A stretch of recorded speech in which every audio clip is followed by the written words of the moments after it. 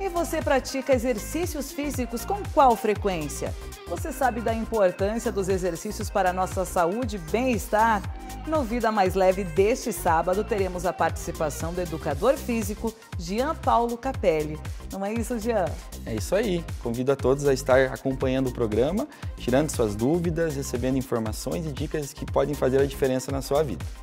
Nós te esperamos. Até sábado!